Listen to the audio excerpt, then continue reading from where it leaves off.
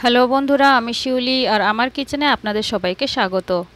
আজকে আমি আপনাদের ঘি বানিয়ে দেখাবো এবং সেটা বিনা ফ্রিজ ইউজ করে। নর্মালি আমরা যদি ঘি বানাতে চাই, তাহলে দুধের মালাইটা বা সরটা জমা করার জন্য আমাদের ফ্রিজের দরকার পড়ে। আর তার থেকে যখন আমরা ঘি বার করতে চাই, তখনও আমাদের ফ্রিজের ঠান্ডা পানির দরকার পড়ে। মানে যখন আমরা বাটার আলাদা করতে চাই আর বাটার মিল্কটা আলাদা করতে চাই। আর তাতে কি হয় কি সহজে বাটার থেকে ঘিটা বের করা যায়। কিন্তু সবার ঘরে ফ্রিজ থাকবে এমন তো কোনো কথা নেই। তো আজকে আমি আপনাদের দেখাবো বিনা ফ্রিজ ইউজ করে কীভাবে আপনারা মালাইটা সংরক্ষণ করতে পারেন এবং মালাই থেকে কীভাবে ঘিটা বের করতে পারেন। চলুন ফটাফট দেখে নিই কীভাবে করতে হবে। আমি আধা লিটার দুধ গরম করে রেখেছি এবং দুধটা ঠান্ডা হয়ে গেছে। আপনি দেখতে পাচ্ছেন উপর দিয়ে মালাইটা জমে গেছে। এটা দেশি গরুর দুধ, যার কারণে হলুদ হলুদ মালাই জমেছে। এবার আমরা মালাইটাকে তুলে নিয়ে নেব। এখানে আপনি দেখতে পাচ্ছেন, আমি আগে থেকে জমা করে রেখেছি, এটা ছয় দিনের মালাই এবং রোজ রোজ আধা লিটার দুধের মালাই আমি একবার করে তুলে নিই। এবার ওপর থেকে আমি মালাইটাকে নিয়ে নিলাম। এই সসপ্যানের মধ্যে নিলাম। এবার আমাদের কি হবে? মালাইটাকে আমরা সংরক্ষণ করব বিনা ফ্রিজে। তো এর কারণে আমাদের প্রথমে এখান থেকে কিছু দুধ নিয়ে নিতে হবে। এখান থেকে আমি অল্প কিছু দুধ নিয়ে নেব। দুধ নিয়ে এবার আমাদের এই মালাইটাকে গরম করতে হবে। সকালে এবং সন্ধ্যায় দিনে দুবার করে এই মালাইটাকে গরম করে রাখতে হবে। যদি আপনি সকাল দশটায় গরম করেন, তাহলে সন্ধ্যায়ও দশটায় গরম করবেন। যদি আপনি সকালে সাতটায় গরম করেন, তাহলে সন্ধ্যায়ও সাতটাতেই গরম করবেন। এরকম করে গরম করে করে যদি আপনি রাখেন, তাহলে আপনার একেবারেই মালাইটা নষ্ট হবে না। এবং মালাইটা গরম করার পরে যখন আপনি সারাদিন রাখবেন বা সারা রাত রাখবেন, তখন একেবারে বন্ধ করে ঢেকে রাখবেন না। একটুখানি খোলা রেখে দেবেন যাতে হাওয়াটা পাস করতে পারে। আর একেবারে বন্ধ করে রাখলে কিন্তু খারাপ হওয়ার চান্স থাকে। এই কারণে পুরোপুরি ঢেকে রাখবেন না, একটুখানি খোলা করে রাখবেন যাতে এয়ার পাস হয়। এবার আমাদের খুব বেশি বেশি সময় জাল দেওয়ার কোনো দরকার নেই। আমরা হিটটাকে একেবারে লোতে রাখব এবং লাগাতার চালিয়ে চালিয়ে মানে নাড়িয়ে নাড়িয়ে আমরা মালাইটাকে কুক করব।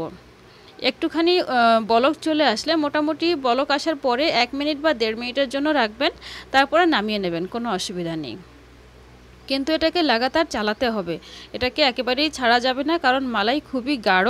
এটা খুবই সহজেই নিচে থেকে জ্বলে যায়।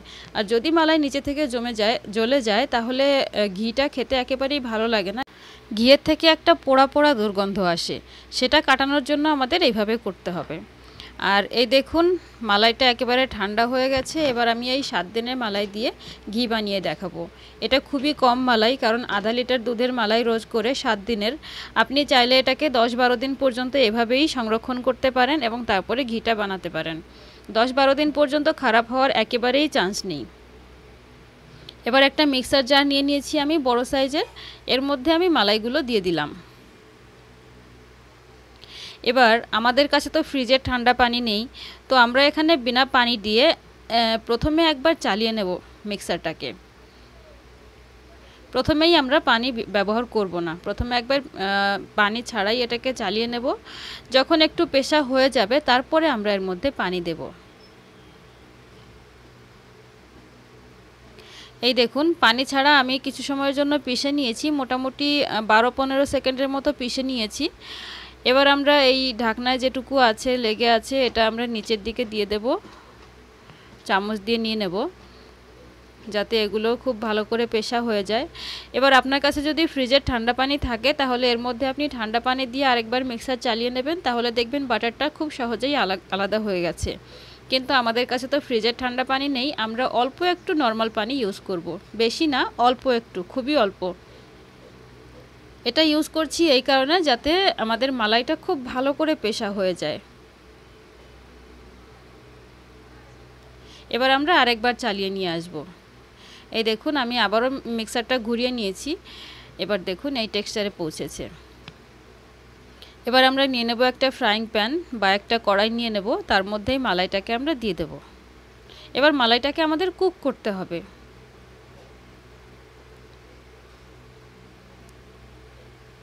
মালাইটা ঢেলে দিচ্ছি। মিক্সার জারটা ধুয়ে একটুখানি পানিও দিয়ে দেব মানে আমি চাই না যে ওয়েস্ট হোক। খাবার ওয়েস্ট করা একেবারেই ভালো কথা নয়। মিক্সার জারটা ধুয়ে একটুখানি পানি আমি দিয়ে দিলাম।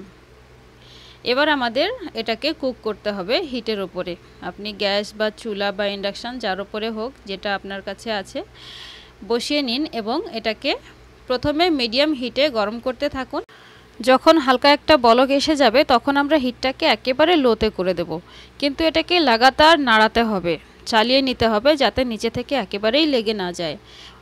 এটা তো আমরা মালাই গরম করছি, দুধ তো নয়। এই কারণে খুব মানে খুব সতর্কতার সাথে এটাকে নাড়াতে হবে যাতে কোনোভাবেই নিচে থেকে জ্বলে না যায়। আর নিচে থেকে যদি একবার পুড়ে যায় তাহলে ঘিয়ের স্বাদ একেবারেই ভালো হবে না। লাগাতার চালিয়ে চালিয়ে আমরা মালাইটাকে কুক করব। সময়টা একটু বেশি লাগবে কারণ আমাদের এখানে তো জলটাকেও শুকাতে হবে, কিন্তু আমরা হাই হিটে দিয়ে তো জলটাকে শুকাতে পারব না। এই কারণে প্রথমে মিডিয়াম হিট, বলক আসার পরে লোতে দিয়ে জলটাকে শুকিয়ে নেব, তারপরে মালাইটাকে আবার লাগাতার চালাতে চালাতে আমরা কুক করে নেব। আপনি দেখতে পাচ্ছেন খুব সুন্দর একটা বলক এসে গেছে। এবার আমরা হিটটাকে মিডিয়াম সরি, লো করে দিয়েছি। এবার লাগাতার চালিয়ে চালিয়ে আমরা এটাকে কুক করে নেব। আমি স্কিপ করছি না স্টেপগুলো, যাতে আপনারা দেখতে পারেন যে আমি এখানে কোনো কারচুপি করিনি। যেটা আমি করেছি সেটাই আপনাদের দেখাচ্ছি। আমি স্পিডটা বাড়িয়ে দিয়ে আপনাকে দেখাবো, কিন্তু পুরোপুরি দেখাবো। এভাবে কুক করতে করতে যখন মালাইয়ের কোয়ান্টিটি কম হতে থাকে, তখন দেখা যায় সাইড থেকে বেশ খানিকটা লেগে থাকতে দেখা যায়। তো এগুলো আমরা কি করব? চামচ দিয়ে বেশ ছাড়িয়ে নেব আর ভেতরে দিয়ে দেব। যাতে সাইডের মালাইগুলো পুড়ে না যায়। এরকম করে চালিয়ে চালিয়ে কুক করতে থাকব আর সাইডের মালাইগুলো ভেতরে নিয়ে যেতে থাকব। এরকম করে দেখবেন, সময়টা একটু বেশি লাগবে, কিন্তু যখন একেবারেই কোনো পানি থাকবে না, এর মধ্যে বেশ শুকনো একটা টেক্সচার চলে আসবে। এই দেখুন, মালাইয়ের টেক্সচার একেবারেই শুকনো হয়ে গেছে, আর কিছুক্ষণের মধ্যে এর থেকে ঘি বের হতে শুরু হয়ে যাবে। হিট একেবারেই লোতে থাকবে, আর লাগাতার চালিয়ে চালিয়ে আমরা এটাকে কুক করব। আপনি দেখতে পাচ্ছেন, মালাই থেকে ঘি বের হওয়া শুরু হয়ে গেছে।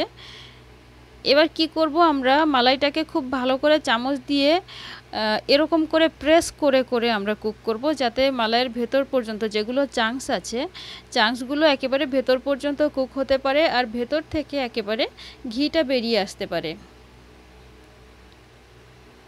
এরকম করে আমরা চাংসগুলো ভালো করে ভেঙে দেব। তাতে কি হবে? একেবারে ভেতর পর্যন্ত কুক হবে। এবং সবচেয়ে বেশি মানে যতটা বেশি সম্ভব ততটা আমরা ঘি পাবো। আপনি দেখতে পাচ্ছেন মালাইয়ের টেক্সচার কীরকম হয়ে গেছে এবং ঘি যথেষ্ট বেরিয়ে এসছে। এই দেখুন। আমরা খুব বেশি একেবারে কালো করব না, মোটামুটি লাল হয়ে গেলে, গাঢ় লাল হয়ে গেলে আমরা হিটটা বন্ধ করে দেব আর তারপরে আমরা এটাকে ছেঁকে নেব।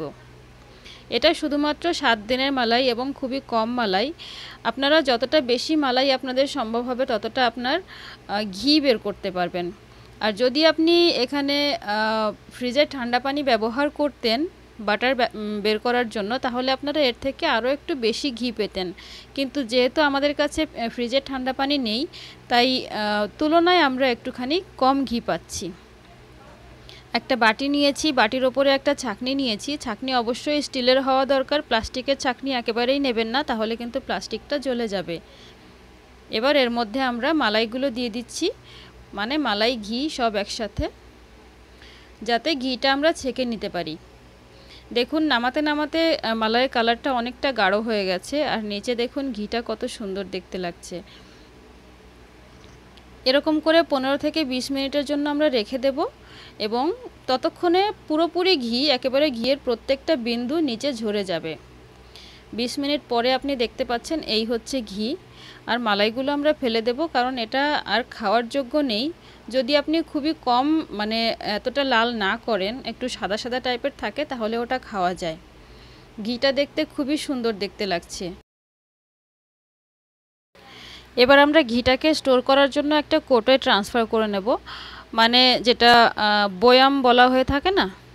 তো কাচের বয়াম হোক বা এরকম বাজারের যে ঘিয়ের বয়ামগুলো হয় বাজারের ঘিয়ের বয়ামেই আমি নিচ্ছি। এটাকে আমি নর্মালি যে বাজারের ঘিটা যেভাবে আমরা সংরক্ষণ করি যে ফ্রিজের বাইরে থাকলেও কিছু হয় না, চাইলে আপনি ফ্রিজের ভেতরেও রাখতে পারেন জমা করার জন্য মানে জমানোর জন্য। তো আপনি যে কোনোভাবে এটাকে সংরক্ষণ করতে পারেন, কোনো অসুবিধা নেই, একেবারে বাজারের ঘিয়ের মতো ট্রিট করতে পারেন।